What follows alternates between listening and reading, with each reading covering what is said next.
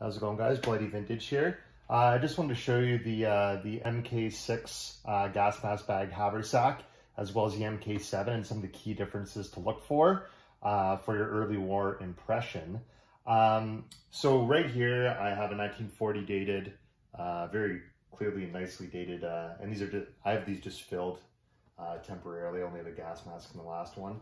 1940 MK6 again on the strap, so that's kind of nice. This one actually, all the markings are faded, but judging by the hardware, it's an MK6 and I'll tell you why, and then the MK7 on the end.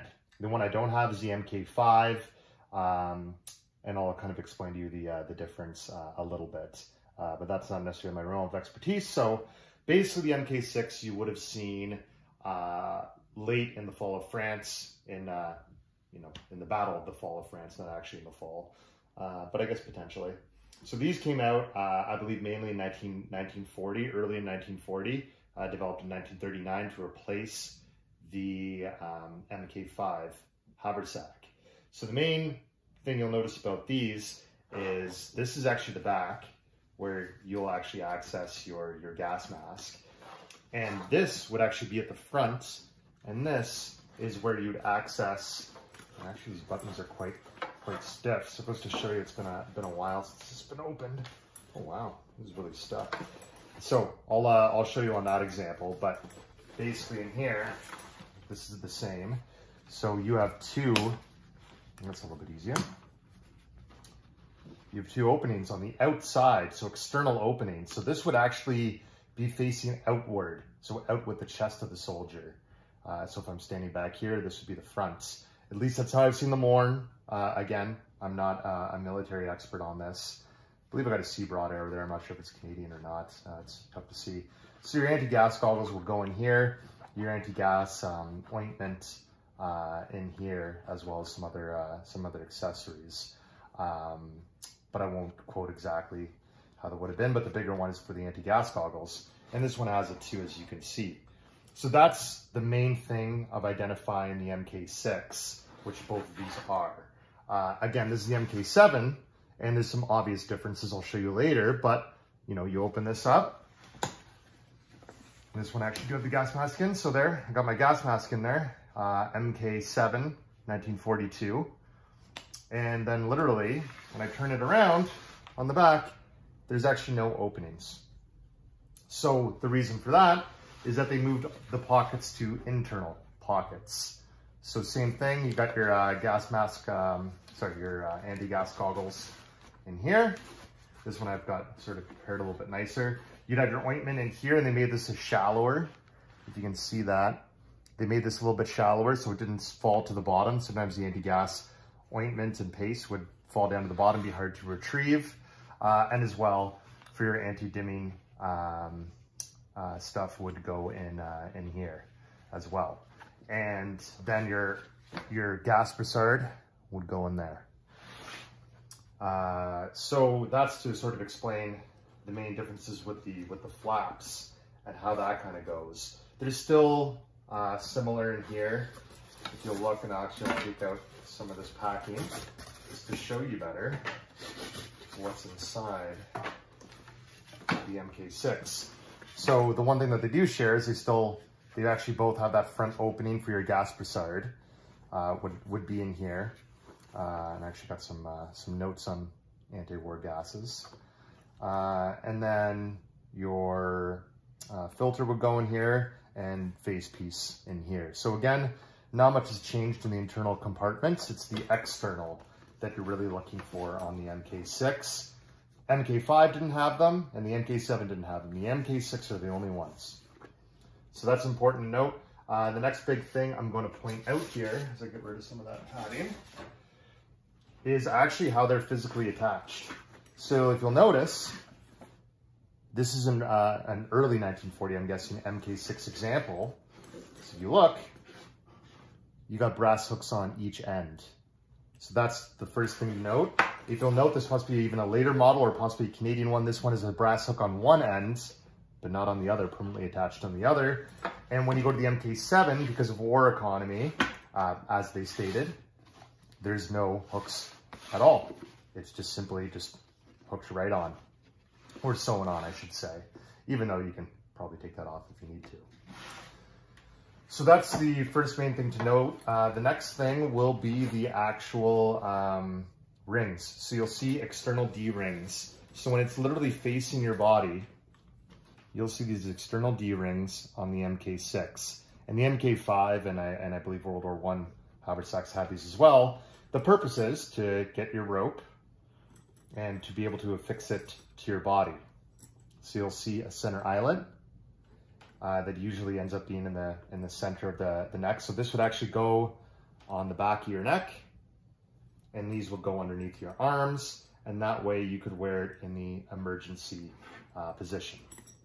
Okay, I'll show you an example of that uh, maybe in a second, uh, but I'll have to re, uh, reset that up for you.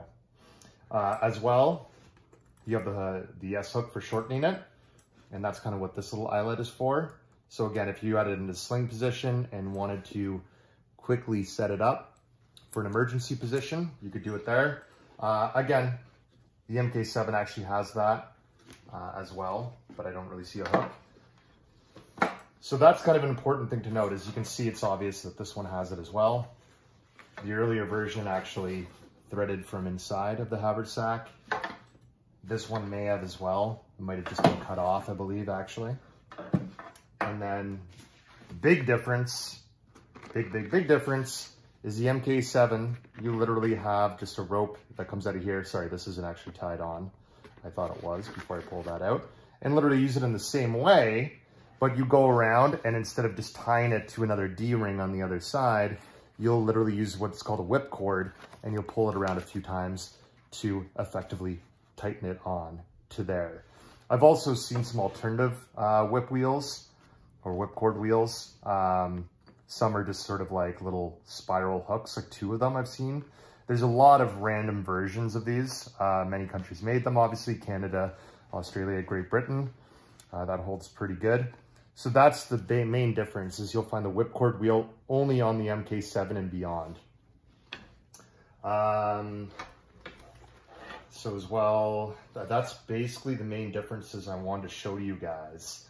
Um, as well, I'm not going to quote this one because it's a Canadian version. As I understand, they, they reduced some other brass. Uh, I have all the brass on these ones. So the two adjustment buckles, as I understand, I think some of them went to just one for the, uh, the adjustment, uh, possibly some of the British versions. And all of them also have this little, if you can see it here, I'll give you a, a better close-up on the MK7, is this little guy right there. Not 100% sure, but as I understand, that's kind of to secure to a button on your tunic uh, for mounted troops so it doesn't flop around as you're, uh, as you're riding horseback, uh, for example. So those are the main differences. Again, MK7, only the one flap, and then uh, MK6, the one flap at the back, and then at the front facing out for your um, anti-gas go uh, goggles and ointments on the outside. And the main reason that was done is just for ease of use, ease of access, rather than have to stumble around and open it up and grab everything out of here while you're trying to also assemble your gas mask. You can do it separately and not have to shove everything into one bag. Uh, as well, I won't really comment too much on the, the Blanco standards. This one actually isn't Blanco, it's actually like a green, a green material inside and out. Uh, but these were known to have been Blancoed uh, based on unit regulations. This one obviously isn't super faded, um, but sometimes they're Blancoed green, so you might see that in the BEF as well. And then later in the war, or I should say mid-war, uh, you don't really see as much Blanco, and you obviously don't really see much use of the um, of the gas mask haversack uh, MK5, MK6, or MK7 because the light MK2 comes out, and I'll show you that to you guys as well before I forget. So um, I'm going to set some things up and to show you how these would actually be attached. All right, so I got it mounted on my mannequin. Uh, I'm going to try and give you a two for one deal uh, to show you how uh, this one and the light MK2, uh, so you can ignore the bottom uh, part late war. Um, just sort of showing you quick and dirty. So again, this is the front facing out where your anti-gas goggles and ointment would go in and then you'd fold this out and actually have, if I can show you there, and actually have access to your haversack right there. And if you look around, you're gonna say, how the hell is this staying on this guy? Where I showed you the D-rings before, you see that going around the body. Now again, this should probably be on the inside through here. I just threw it on quickly. Should probably be on the inside of the cross straps. Usually the first thing you put on is your um, gas haversack. Now we're gonna look at the back and see how it will go on. So as you can see, again, once you actually have a body on this, this sort of purpose is to pull this down so it's not riding on the back of your neck and these go underneath your shoulders and reduce it flopping around. Um, so again, keeps it off your neck, keeps this from flopping around and your adjustment brass hooks as well. So that is kind of how that would be attached. And at the bottom here, I got the late war um, MK2 uh, light gas mask bag. Now again, it was worn many different ways. This is the only one to actually have um, fittings for the Pattern 37 belt, if you can see that on the back. Sorry, I'm just trying to do everything in one at once here in one video. Uh, maybe I'll make another better one later. Uh, so this has the quick release that you'd see in like kind of the Pattern 1944 um, webbing or adjustments, I should say. And definitely see this uh, post-war as well. And again, you got the gas mask in there. And literally, I just tucked in the strap. There's actually a loop or down in the bottom, you can actually take off the strap and hook it down there. And that's also where your um, anti-dimming uh, would go. And as you can see right back here, so there we go, light MK2, 1944. And your um, anti-gas goggles will go in the back there. Um, ointment inside. Sorry, ointment would be in the side here, in the side of the pouch, as well as your, uh, your cotton wadding. And as well, there's another side for that material as well. So sorry, I know this is a bit of a quick and dirty video, but I just want to give you the idea of all those together. When I have a little bit more time, I'll kind of spread them out a little bit better and uh, hope you can better understand. But that's kind of what we're looking at for the MK6, MK7, and the light MK2.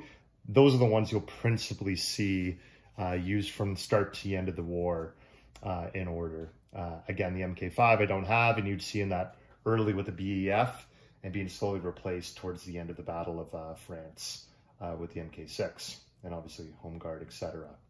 Okay, hopefully that gives you a good idea.